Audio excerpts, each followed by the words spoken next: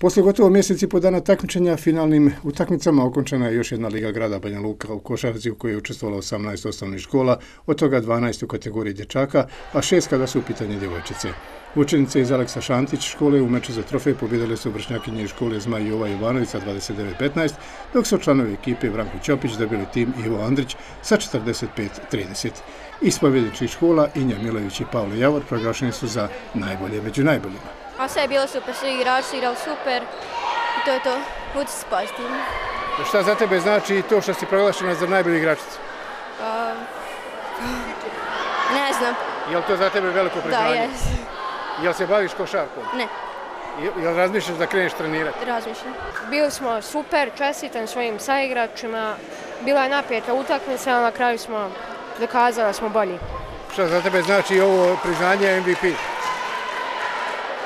Pa, pa lije, lijepa je to uspomena na ovo takmičenje, ali najbitnije su mi osvojili. Ligu je i ove godine organizovao Košakaški savez grada Banja Luka koji je imao podršku Ministarstva kulture i prosvete te Ministarstva sporta vlade Republike Srpske.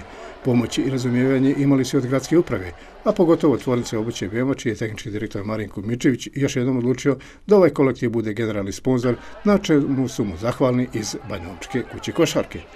I ovo kako oni pomažu na čelu sa gospodinom Marinkom Mišović je, je nešto što je pokazatelj da i ovde pomaže, ali pomaže sportu gradu Banja Luci, onoliko koliko može, a, a velika je to, veliki je to značaj za sve one koji na ovom nivou organizuju takmičenje. Pa ono je veliko zadovoljstvo da pomažemo ovu djecu, da organizacija ovoga turnira osnovnih škola grada Banja Luke i organizaciji Košarkaru Košarkaškog saza grada Banja Luke.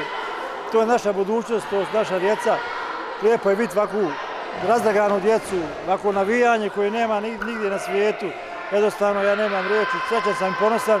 Marinko Mičević, koji je ujedno predsjednik Rukometnog saveza Republike Srpske, najavio je kako će se učiniti da se slično takmičenje organizuje i u rukometu, koji je podavno postao zaštitni brend grada na Vrbasu.